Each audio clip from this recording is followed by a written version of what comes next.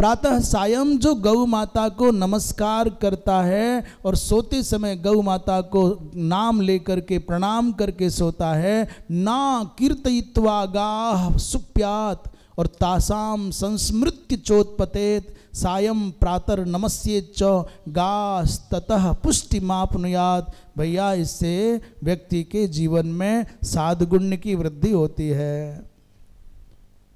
नित्य नित्य भगवती गौ माता को प्रणाम करो और तब शयन करने जाओ और जागो तो फिर जगते ही सबसे पहले गौ माता को प्रणाम करो। जो सायं प्रातः नित्य भगवती गौ माता को प्रणाम करता है, उससे उसको पुष्टि प्राप्त हो जाती है। प्रार्थना करे, मैं नित्य गायों का दर्शन करूँ